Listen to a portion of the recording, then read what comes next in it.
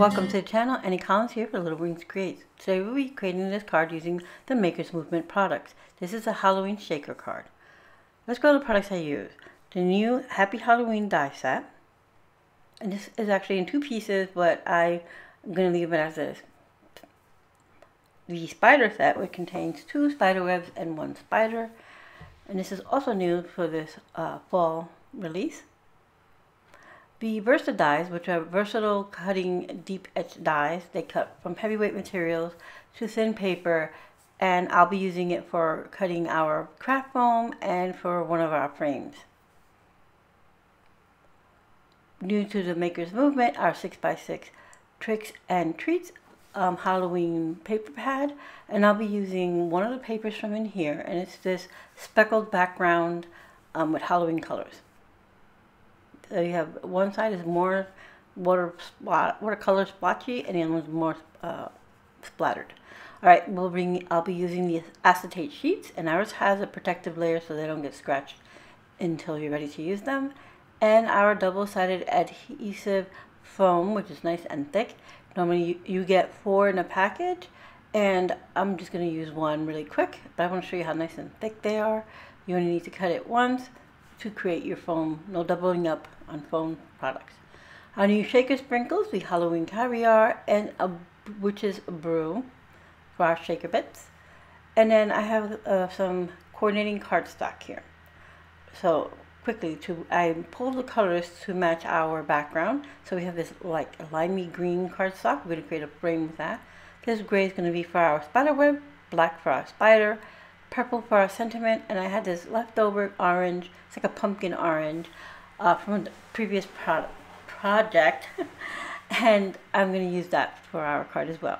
First, we're going to start by cutting out our little green frames, and that's what I used the Versa uh, dies for, and I used it in my crossover edge, big um, heavy-duty um, die cutting machine that I keep off the side of my desk. Now we're going to bring in our making, mini maker to cut out the rest of our pieces. We're going to cut out our sentiment, which is the Happy Halloween, using onto the purple cardstock. And that's 65 weight cardstock. I didn't go too heavy with that. I did go heavier with our web and our spider. I used um, 80 pound cardstock for that. So quickly run that through. And then I'll just peel this off. I'm going to grab my little tray to collect all my bits, bits and pieces. There's our sentiment gently remove it. As you can see, it cuts out in two pieces. I just didn't separate my dies. I'm going to set that to the side and grab our spider. Our spider web and spider. So here's our spider web. I mean, like I said, I'm cutting out a heavyweight gray cardstock. And our spider. And I'm going to, I'll trim down the piece of our spider cardstock here because it is too large or too wide to go through our mini maker. The mini maker is about three to four inches wide.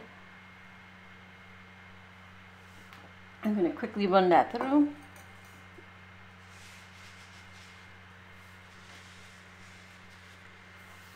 And once we have that, I'll put that in our little tray as well. Let me go ahead and show you. Here's our little spider. Cute as that. And then our web and just little pieces just fall out and it's a nice thin dainty web and it's a corner web. All right so now I'm going to start bringing in other components to start making our card. Here I'm going to remove our little frames. I'm going to use the piercing tool from the maker's movement to quickly push out all our papers. And then the rest of the frames I'll just save for other projects. It's with Halloween this is a good uh, color to use Alright, so I'm going to move all this and put my die to the side. And I already pre-cut our acetate and as well as our foam, uh, double-sided craft foam here. So here is what I'm planning on making to do a dry fit and I'm going to grab the wrong frame. I'm going to inlay the green frame on through onto the orange frame and that's the second one in. I'm going to put all those extras to the side. And then I'm going to adhere that to our uh, acetate once we're ready. But first I need to cut down my background paper to four and a quarter by five and a half because that's the size card we're doing. It's a standard A2 size card. Once I have that, I can now have all my components ready for our card. So I'm going to grab, I'm going to do a quick dry fit before I grab a white piece of paper for us to work on so it's better to see on camera.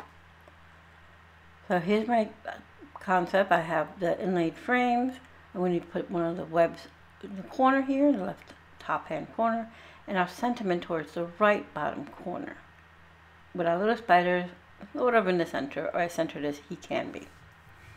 Right, so that looks good. I'm going to move everything out. I was going to use double-sided adhesive, but I decided that I'm going to go ahead and use my Bearly Art glue. It works just as fine, and with the um, precision tip on it, it'll be perfect for this. So I'm going to remove one of the protective layers off of my acetate. I'll leave the other side on so it's easier to view on camera while I adhere everything. I'm just moving this little cap. This is the little uh, cap for my glue. It comes from Bearly Art and I just use a rubber band on the bottom to hold it so I don't get in the have it. Ooh, I can speak. So that doesn't the tap top doesn't get caught in the middle of my project. Oh my god, that was horrible. All right. um, so now I'm adhering the first layer, which is the pumpkin orange, onto our acetate. And then I'm going to adhere the next frame layer, which is the green one, right nestled right inside that orange one. I'm just doing a little bit of glue, and that's why I want this precision tip glue, because it's perfect to go on these nice thin frames. I'm going to get this in here and lay it and yep, you saw that? I moved it completely out of the way because that's how I roll. Alright, so once I get that adhered nice and flat, I can go ahead and put my tray on it just for a few seconds to let it set. And then I'm going to use my precision tool once again to remove any of those little bits and pieces from my sentiments, which is the inner parts of the E's, A's, and P's, and so forth. So my spider, I'm going to just kind of um, curl up his little legs. And here I'm thinking, oh, would it be cute if I put some of those little eyeballs or in the witch's brew? But the eyeballs are quite large, so I changed my mind. All right, so now this little piece of lighter purple project, purple paper, is left over from a, another project. And I thought it'd be nice to use it on a which on the spider's body. So I'm just going to adhere it really quick to the center of his body, clean off any excess glue that's coming out. And I tend to keep little scraps of paper like that that I'm like, oh, that could work for something else. All right, so now I have the Halloween caviar um, sprinkles. And I'm going to use two of them for his eyeballs. And I'm going to use the orange ones. These are much smaller. They fit more. They fit better in the little head area. I'm just going to get them as centered as I can. And here's a little close-up of what it looks like. I'm going to pour all those beads back before I spill them all over the place. We don't need them just yet. Cleaning up any excess glue that was left over. And here is what my little web is going to be placed here again. So I'm going to adhere this quickly while it's still flat. So I'm going to go ahead and add um, adhesive to the back of our spider web and adhere it to the corner. I'm not going through all those little strings. We don't really need it. We just need to make sure it's secured in the corners right there and just a little tip on that center string. And it wouldn't be in any project without something being crooked. So keeping true to myself, I had laid down my frames crooked onto my acetate. So I just cut off any extra. Now I remove the backing of the acetate protective layer and I'm going to go ahead and grab our foam uh, frames out here. And I didn't get the backing, it was giving me a little bit of a hard time, but it just came out pretty, it's not that bad. I removed the backing of, the protective backing of one of the sides of the double-sided foam adhesive here and I'm going to place it on there. And again, not quite centered because, hmm, you know, any project. Okay, so now I'm going to pour some of these caviar beads in here. And that's going to make it nice and um, keep everything moving in there. And then here is the uh, witch's brew. It has little bats sprinkles and um, eyeballs. And I'm just going to make sure everything is laying flat, nothing standing on top of one another. I prefer it that way so we can keep nice movement in our card. So I'm going to fiddle with this just a little bit, make sure everything's flat. Then I decide, mm, I need a little bit more of the witch's brew, so I'm sprinkling in a few more things. And then I'll remove the protective layer or backing from this part here, the inside, going slowly so my uh, sprinkles don't pop up everywhere. And I go ahead and adhere the um, pattern paper from the Tricks and Treats die pad. Not die pad, paper pad. oh my goodness. So I'm going to trim off the extra paper that's showing because, you know, any project. And I'm going to get that out of our way and go ahead and adhere our spider and our sentiment. For our spider, I want him to be lifted up a bit, so I'm going to go ahead and put a small piece of foam.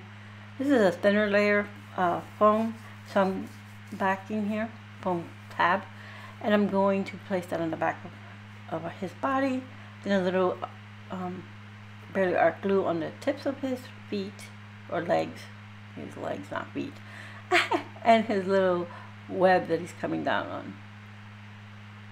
Put that as centered as possible, press the feet onto the acetate, and then I'll cut off the extra in the bed. Now we're going to go ahead and add here our sentiment, and I'm going to start with the Halloween first. I grab my precision um, tweezers here, put little dabs of adhesive on the back, and adhere it to our card all the way here to the right bottom. Once I have that down, then I can put the happy on there. And I like that you have a little bit of that green and orange popping out of the through the um, Halloween sentiment. And then I'm going to place the happy right nestled in here. Press that nice and firm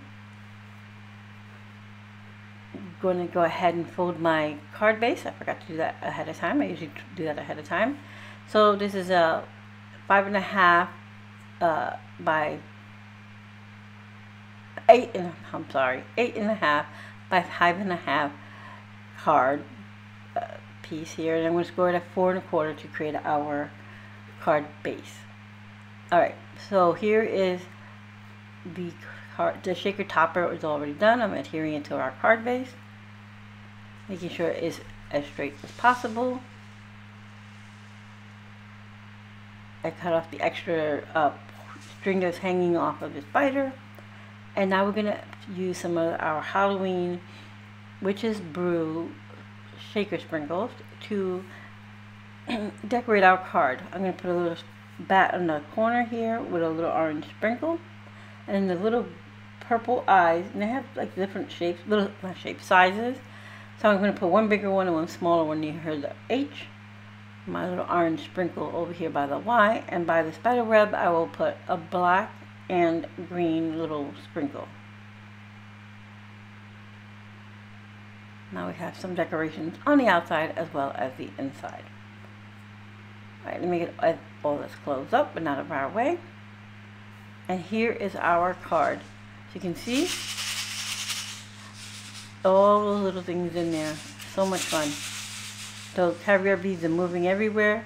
We have a little static inside, so our eyeballs are sticking to the um, acetate, but eventually they'll fall down. Again, we use our acetate, a double-sided craft foam, our Versa dies, the new 6x6 pad called Tricks and Treats, the spider set, and the Happy Halloween die set, and our shaker sprinkles. Like always, I'll have everything listed in, in description box below with links. Thank you so much for being here. I hope you found some inspiration.